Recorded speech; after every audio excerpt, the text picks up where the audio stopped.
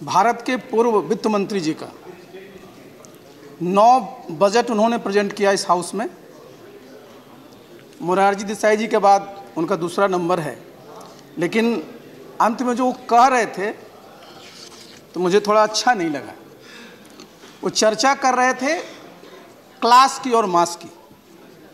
उनका कहना था कि जो संसाधन है वित्त में, जो पैसे हमारे हैं, वो जाने चाहिए मासेज के पास। क्लासेज के पास नहीं तो क्लास और मास का तो समझ में आता है क्योंकि खुद भी हार्वर्ड में पढ़े हैं।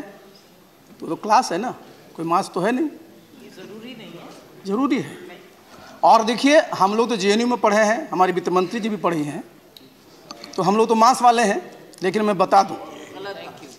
बता दूँ कि आप बात कर रहे हैं क्लास की और क्या कह रहे हैं आप? आप कह रहे थे कि भाई किसान सम्मान निधि योजना में सरकार ने सिर्फ़ चौवन हज़ार करोड़ रुपए दिए। आप जरा समझिए, आपने तो एक रुपया नहीं दिया था। तो कम से कम कहाँ पहुँचे हम लोग? ज़ीरो से चौवन हज़ार करोड़ पर पहुँचे हैं और आगे और पहुँचेंगे आप क्या कह रहे थे? कह रहे थे, वापस नहीं रहिए ना। आप ये भी जरा जान लीजिए, वो क्या कह रहे थे? बात कर रहे थे मास्क की। पूरा का पूरा ये हमारा जो एससी और ओबीसी का जो बजट है, जो इस बजट में दिया हुआ पचासी हज़ार करोड़, वो किस क्लास को जाएगा? हमारा जो एसटी है, तिरपन हज़ार छह सौ करोड़, किस क्लास को जाएगा? वो मास नहीं है क्या?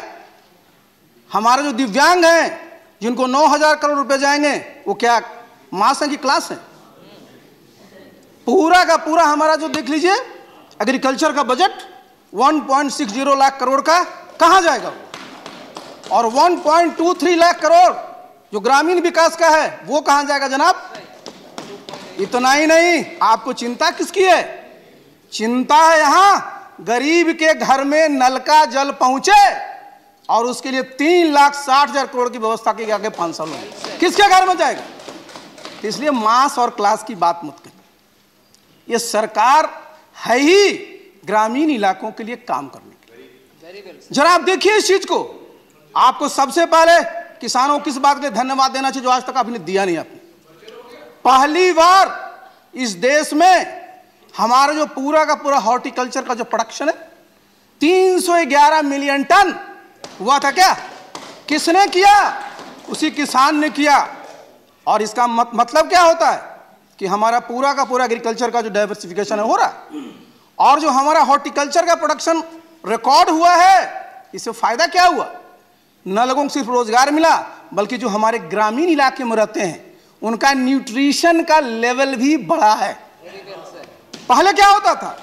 वो रोटी खाते थे तो दाल नहीं, रोटी खाते थे तो सब्ज़ी नहीं, और नॉन वेज का तो छोड़िए ही मत। लेकिन आज वो कह रहे थे, और अभी हमारे वर्मा जी भी बोल रहे थे, कि ग्रामीण इलाकों में कंजम्पशन 10 प्रतिशत नीचे चला गया। वर्मा जी और पूर्व वित्त मंत्री जी चले गए, आप लोग तो नहीं जाते हैं। मैं गाँव में ही रहता हूँ। और मैं अपने गाँव में देख रहा हूँ कि पहले जितना लोग खर्च करते थे और खाते थे, उससे ज़्यादा कर रहे हैं। मेरा गाँव बिहार में कोई बाहर नहीं है। और आप कह रहे हैं, क्लास और मास की न्यूट्रिशन लेवल को बढ़ाने के लिए इस बजट में देखिए, पैंतीस हज़ार छह सौ करोड़ की व्यवस्था है। किसका न्यूट्रिशन लेवल बढ़ेगा? पूरा का पूरा जो आप देखिए, हमारा जो ये महिलाओं के लिए जो बजट है, वो कहाँ जाएगा इसलिए इस मानसिकता से हटिए। आप एक बात ज़रूर कह रहे थे, और इसलिए फिर मैं वित्त मंत्री जी को बधाई देना चाहूँगा। आप कह रहे थे जिसको आप टैक्स टेररिज्म कह रहे थे। हम भी इनकम टैक्स डिपार्टमेंट में रहे हैं। टैक्स टेररिज्म ये क्या है कि साहब, लोगों की एक सोच है कि बहुत सारे जो सिविल कानून है, उसमें क्रिमिनल लाइबिलिटी आ गई। लोग घबराए हुए हैं। तो आप बजट में पढ़िए। मैं बधाई देना चाहता हूँ कि एक पूरा का पूरा इस पर एक स्टडी किया जा रहा है कि जो कंपनीज़ लॉ हैं जो और भी लॉज हैं उसको ठीक से एनालाइज किया जाए जिससे कि लोगों के मन में किसी प्रकार का भय न रहे। वो अपना बिज़नेस करें व्यापार करें लेकिन अब गलत काम करेंगे तो कहाँ जाएँगे? जगह तो एक ही जगह होती है। इसलिए इस सरकार को हम बधाई देना चाहते हैं। और इसलिए भी वित्त मंत्री जी को बधाई देना चाहते हैं कि पहली बार आपने एक, एक और कानून की चर्चा किया और खास करके हमारे जो महिला सशक्तिकरण के लिए, जो हमारी बच्चियों के मैरिज का जो एज है अट्ठारह वर्ष जो उन्नीस सौ अठहत्तर में हुआ, आज आप देखिए जिस प्रकार के अवसर मिले हैं, निश्चित रूप से जो एम एम है उसको भी ठीक करना चाहिए न्यूट्रिशन लेवल ठीक करना चाहिए। मैं आपको बधाई देना चाहता हूँ कि आपने इसमें भी एक टास्क फोर्स बनाने की कहा है और उसकी रिपोर्ट आएगी कि हमारे जो जो हमारी बच्चियाँ हैं, उनका जो हम, जिस समय वो मैंने बच्चे जब शादी होती है, उसके एज पर भी कोई विचार होना चाहिए, इसकी भी आपने कमेटी बनाई है, ये भी एक अच्छी सोच है। तो इसके लिए भी मैं आपको बधाई देता हूँ। और आज आप देख लीजिए, आप कहिएगा क्या है बजट में? बजट में सिर्फ़ और सिर्फ़ चर्चा किसकी है? तो ग्रामीण इलाके की। आप जरा सब जान रहे हैं, हम लोग ऊर्जा के क्षेत्र में, वित्त मंत्री जी कह रहे थे, बिजली की खपत कम हो रही है। देखिए जनाब, मैं तो बिहार का हूँ। बिहार में एक समय में ईयर नहीं बोलूँगा, खराब लगेगा कुछ लोगों को। मात्र जो था, खपत साढ़े चार सौ से पाँच सौ मेगावाट था। आज उसी बिहार में पाँच हज़ार मेगावाट ज़्यादा खपत है। बिजली कहाँ खपत नहीं हो रही? और बधाई मैं देना चाहता हूँ वित्त मंत्री जी को और बगल में रेल मंत्री जी भी बैठे हुए ये बहुत अच्छी सोच है आप लोग कि जो हमारा पूरा का पूरा जो, आज जो सौर ऊर्जा की बात हम कर रहे हैं, पूरी एनर्जी हमको सूरज से मिलनी है। जो हमारा टिकाऊ एनर्जी होगा। रेलवे ट्रैक के किनारे आप पूरा का पूरा जो आप इसको सोलर एनर्जी के लिए उसका यूज़ करने जा रहे हैं, इसके लिए बहुत बहुत धन्यवाद। साथ ही आपने किसानों को भी इसमें लाया है। और आपने क्या कहा कि किसानों के लिए जो फैलो लैंड है, जिस पर वो खेती नहीं करते हैं, उस पर भी वो सोलर प्लांट लेकर करके ऊर्जा दाता अन्नदाता के साथ साथ ऊर्जा दाता बनने जा रहे हैं। मेरा अनुरोध होगा वित्त मंत्री जी से कि बिहार में खास करके हमारे नॉर्दर्न बिहार में बहुत सारे हमारे वाटर बॉडीज हैं, बहुत बड़े बड़े बॉडीज हैं, और उस पर स्टडी भी हुआ है किस प्रकार वहाँ पर सोलर ऊर्जा का किया जाए, जिसमें कि नीचे मछली पालन भी हो जाए, और हमारा मखाना का भी पालन हो जाए, उपजाऊ हो जाए, और ऊपर हम उसको जो है सोलर पावर कैसे उसको करेंगे। तो हम चाहेंगे कि इसको भी करने से, निश्चित रूप से जो हमारे किसान हैं, उनकी आमदनी बढ़े। दूसरा एक और चीज़ के लिए मैं बधाई देना चाहता हूँ। बहुत, एक दो ही लाइन लिखा हुआ, लेकिन उसमें बहुत छिपा हुआ। ये पूरा का पूरा जो इनलाइन वाटर जो हमारा इनलाइन वाटरवे वन है, जिसमें हमारा बिहार आता है, इलाहाबाद से हल्दिया तक जाता है, उसके दोनों किनारे पर आपने मैं प्रधानमंत्री जी को धन्यवाद देना चाहता हूँ, वित्त मंत्री जी को, कि आपने अर्थ गंगा प्रोजेक्ट लाया ये साधारण सोच नहीं है। ये पूरा का पूरा जो हमारा इलाका है वर्जिन इलाका है, जिसके दोनों बैंक पर आगे चल कर करके इकोनॉमिक एक्टिविटी होगी। सिर्फ़ इस पर ध्यान यही रखना है कि इकोनॉमिक एक्टिविटी इस प्रकार की हो, जिससे हमारा इन्वायरमेंट डिग्रेडेशन भी ना हो। लेकिन आप समझिए, इससे कितना ज़्यादा विकास का अवसर प्राप्त हो। और मैं यहीं पर कहना चाहूँगा, बिहार में हमारी एनडीए की सरकार है। ये हम लोग घर घर जो जल पहुँचा रहे हैं, आप सब गया के बारे में जानते होंगे, राजगीर के बारे में भी जानते होंगे। दुर्भाग्य से उस इलाके में पानी की कमी रहती है। हमारे एनडीए की सरकार, जिसके नेता हमारे नीतीश बाबू हैं उनको मैं बधाई देना चाहता हूँ कि एनडीए की सरकार पहली बार बिहार में गंगा का जल गया पहुँचाने जा रही है। ये साधारण बात नहीं है। और ये सोच है, और उससे आप देखिए कि जब आप गया में जाएँगे तो गया तो आप जानते हैं कि भगवान बुद्ध को भी वहीं प्राप्त हुआ। ज्ञान, और साथ ही साथ सब लोग जाते हैं अपने पितरों को तर्पण करने के लिए तो वहाँ पर आपको गंगा का भी जल बन मिलेगा। ये देखिए हमारे एनडीए की सरकार बिहार में क्या करे और कितनी संभावनाएँ बनती है। और एक बात के लिए और मैं धन्यवाद देना चाहूँगा। और वो ये है कि आपने जो पूरा का पूरा, आज देखिए, आज टमाटर, अनियन, जिसको प्याज कहते हैं, और आलू, ये तीनों की कीमतों के लिए हमेशा तबाही मची रहती और जिस समय इसका उत्पादन होता है, और जिस समय तक चार पाँच महीने के बाद इसका रेट बहुत बढ़ जाता है। माननीय वित्त मंत्री जी, आपने न सिर्फ़ जो पूरा का पूरा हमारा जो स्टोरेज की व्यवस्था है उसको आपने लाइनअप किया है, रेलवे को भी लाया है सिविल एविएशन को भी लाया। और सबसे बड़ी बात है कि गाँव में भी आपने स्टोरेज बनाने के लिए जो हमारा सेल्फ हेल्प वहाँ ग्रुप है, उसको अथराइज और साधारण बात नहीं है।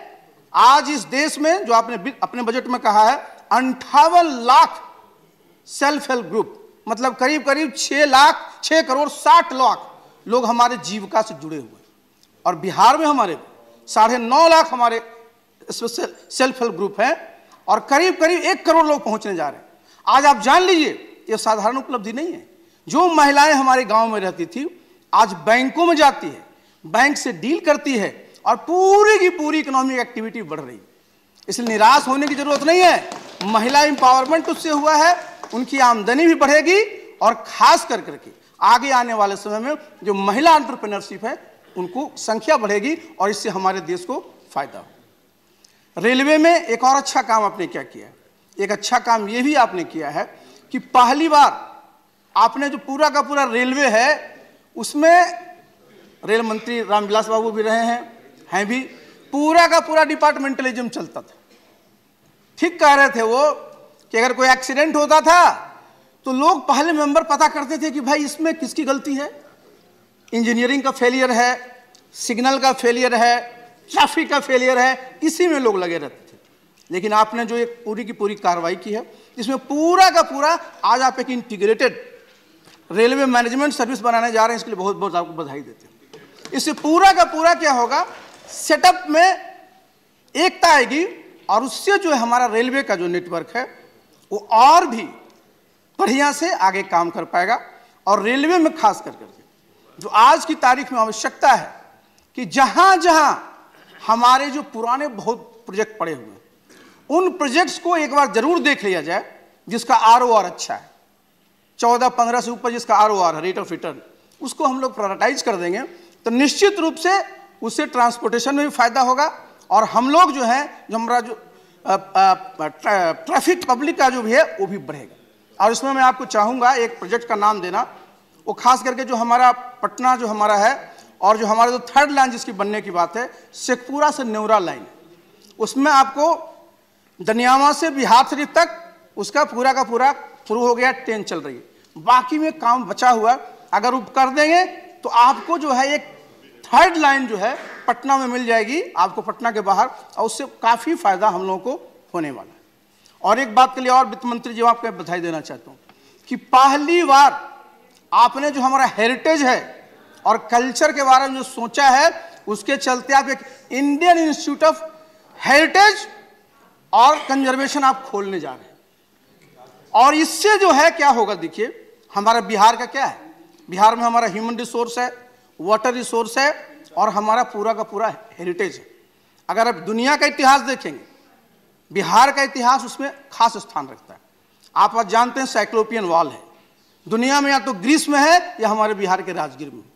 जहाँ साइक्लोपियन वॉल उस जमाने में बड़े बड़े दीवारें जो है पूरा का पूरा करीब 27 किलोमीटर पहाड़ के ऊपर बनाया गया हमारे मुख्यमंत्री माननीय नीतीश बाबू ने उसको यूनेस्को साइट के लिए लिखा है।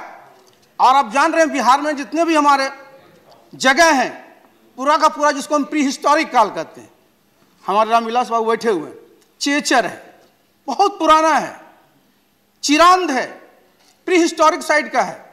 अगर आप पूरा का पूरा मॉर्जन पीरियड का देखिएगा मगध पीरियड का देखिएगा, बहुत सारे साइट हैं। नालंदा, एक एक यूनिवर्सिटी आप देखिए।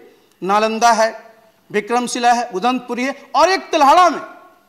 तिल्हाड़ा में भी जो एक विश्वविद्यालय है, वहाँ पर हमारे गए थे नॉवल लॉरियट और दुर्भाग्य से मैं शिक्षा मंत्री जी बैठ को मैं उनको मैं उनको केंद्र सरकार को मैं कहना चाहता हूँ कि तिल्हाड़ा में खुदाई हुई थी, चौथी यूनिवर्सिटी थी। लेकिन पाँच साल से थोड़ा वो बंद है। उस पर देखना चाहिए और मेरा अनुरोध होगा कि जो इंस्टीट्यूट आप खोलने जा रहे हैं, इस इंस्टीट्यूट को आप बिहार में खोलिए और अगर ज़रूरत समझे तो नालंदा यूनिवर्सिटी जहाँ बना है, उसके बगल में खोलिएगा तो आपको इससे फ़ायदा होगा। क्योंकि वहाँ भी इस चीज़ों की पढ़ाई होगी और इससे इसको फ़ायदा मिलेगा। और इससे जो है हमारे पूरे के पूरे देश में, आज आप जानते हैं म्यूज़ियम में लोग जाते हैं, ठीक से बता नहीं पाते। आर्कियोलॉजी के बारे में ठीक से जानकारी नहीं होती। तो इंस्टीट्यूट से बहुत फ़ायदा होगा, हमारे इतिहास, हमारे देश का जो विरासत है, सांस्कृतिक विरासत, उसको ठीक से वहाँ बताया जा सकेगा। इसके लिए मैं चाहता हूँ कि भाई इंस्टीट्यूट बिहार में बनना चाहिए। दूसरा, आपने पहली बार आपको फिर बधाई देना चाहता हूँ कि पुलिस के बारे में। पूरा का पूरा पुलिस पर भी आपने एक यूनिवर्सिटी बनाने की बात की है। फॉरेंसिक साइंस पर भी एक यूनिवर्सिटी बनाने की बात की है। ये भी ज़रूरी है। आज अब पूरा का पूरा जो पुलिस का इन्वेस्टिगेशन है, वो बदल गया है। पुराना इन्वेस्टिगेशन अब नहीं है। आज की तारीख में जितनी टेक्नोलॉजी आ गई है, और इसके लिए आपने किया है खासकर फॉरेंसिक साइंस के लिए इसके भी आपको बहुत बहुत धन्यवाद देते हैं बहुत बहुत बधाई देते हैं। इसके साथ ही, एक बहुत ही जो महत्वपूर्ण बात हुई, और वो बात क्या है, जो खास कर करके जितने हमारे टेक्निकल इंस्टीट्यूट हैं, और ख़ास करके हमारा जिसको आप बोलते हैं आज की तारीख में, जो हमारी ग्रामीण संस्थाएँ हैं, और जहाँ पर आज आप टेक्नोलॉजी ले जा रहे हैं, पूरा का पूरा उसको डिजिटल कर रहे हैं। ये तो बहुत अच्छी स्कीम है कि आज आप देखिए कि ग्रामीण इलाके में जितने भी हमारे, चाहे पंचायत हो हमारा पीएचसी हो, पुलिस स्टेशन हो, आंगनबाड़ी सेंटर है, सबको आप जोड़ने जा रहे हैं। और ऐसे नहीं जोड़ने जा रहे उसके लिए भारत नेट में आपने 6000 करोड़ का व्यवस्था किया है। इसके लिए भी वित्त मंत्री जी आपको बधाई देते हैं। क्योंकि आप जान लीजिए, आगे आने वाला समय क्या है? पुराना समय नहीं है। आप आगे आने वाला समय क्या है? आर्टिफिशियल इंटेलिजेंस है इंटरनेट ऑफ़ थिंग्स है, थ्री प्रिंटिंग है, बहुत सारी चीज़ें हैं। और सबसे बड़ी बात एक और आपने किया है। इसके लिए भी ये बहुत अच्छी सोच है। कि आपने क्वांटम टेक्नोलॉजी पर भी ध्यान दिया है और पहली बार बजट में क्वांटम टेक्नोलॉजी का मिशन बना कर करके आपने उसमें 8000 करोड़ का प्रावधान किया है। इससे हमारे देश में पूरा का पूरा, एक नया जो कहते हैं विस्टा उसका पूरा का पूरा लोगों के लिए मिलेगा। और युवाओं के लिए कितना अच्छा काम किया, मैं बहुत बधाई देना चाहता हूँ कि पहली बार आपने सेंट्रलाइज्ड नेशनल रिक्रूटमेंट एजेंसी बनाने का फैसला किया और आप देख लीजिए ग्रामीण बच्चे जो होते हैं, उनकी क्या परेशानी होती है? उनको जाना होता है परीक्षा देने। उनके घर में पैसे नहीं होते। कहाँ रहना है वो जानते नहीं कौन रिश्तेदार है। और ये आपने जो व्यवस्था किया है कि ऑनलाइन और जितने भी ग्रुप सी के जो सेवाएँ होंगी, सबके लिए आप एलिजिबिलिटी टेस्ट लेंगे और इसके आधार पर रिक्रूटमेंट करेंगे। इसके लिए मैं बहुत बहुत बधाई देना चाहता हूँ। और साथ ही, इसके साथ ही मैं कई बार बोल चुका हूँ, फिर मैं कह रहा हूँ कि ग्रुप बी तक आदरणीय प्रधानमंत्री जी ने इंटरव्यू को खत्म कर दिया। उसके लिए मैं धन्यवाद देता हूँ और ग्रुप ए में भी मैंने कई बार इस बात को उठाया है कि वहाँ भी इंटरव्यू में मैक्सिमम, मिनिमम का निर्धारण करिए। और पूरा का पूरा उसके इंटरव्यू के प्रोसीडिंग्स को आप वीडियो कराइए, जिससे बच्चों को यह ना लगे कि मेरे साथ नाइंसाफी साथ ही एक बहुत अच्छी बात प्रधानमंत्री जी ने किया था कि बच्चों को बता रहे थे कि परीक्षा के समय टेंशन में मत रहिए। आज जितने हमारे बच्चे हैं जितने हमारे कॉम्पिटेटिव एग्जामिनेशन देते हैं, जितने हमारे बच्चे हैं, उनके मन में क्या चिंता रहती है? चिंता रहती है अटेम्प्ट की। खासकर कितने? किनको? जो हमारे बैकवर्ड कास्ट के बच्चे हैं, जो क्रीमी लेयर के ऊपर है। जो हमारे जनरल बच्चे हैं, जिनका अभी रिजर्वेशन मिला है दस परसेंट, जो उससे कवर नहीं हो रहे। तो मैंने एक बार पहले भी उठाया था, मैं फिर कर रहा हूँ कि बच्चों में और खास करके कैंपस में किसी प्रकार का बच्चों में तनाव, परीक्षा में बैठने के लिए ना हो। इसके लिए अटेम्प्ट की संख्या खत्म कर दी। बच्चों को जब इच्छा हो, जो कंपटीशन देना चाहे, उसको इस बात का एहसास ना हो कि चूँकि हम इस समाज में पैदा हुए साहब इसलिए हम परीक्षा नहीं दे रहे। चूँकि वो अटेम्प्ट लेगा, किसी प्रकार के आरक्षण में उसकी कोई दखल नहीं हो तो ये भी मैं चाहूँगा कि इसको लेने से एक पूरा का पूरा कैंपस में एक अच्छा माहौल बनेगा। चूँकि समय खत्म हो रहा है, मैं फिर से वित्त मंत्री जी को बहुत बहुत धन्यवाद देता हूँ। और इतना मैं ज़रूर उनको कहना चाहूँगा कि जिस रास्ते पर आप चले हैं उस रास्ते पर चलिए। और हम लोग का सपना क्या है? कि हिंदुस्तान को सर्वश्रेष्ठ राष्ट्र बनाना, पाँच ट्रिलियन डॉलर का इकोनॉमी बनाना, और यह तभी संभव है जब आपकी सोच पॉजिटिव होगी, आपकी सोच में आशा होगी, आपको लगेगा कि भविष्य हिंदुस्तान का है, जो है तो हम लोग प्राप्त करेंगे।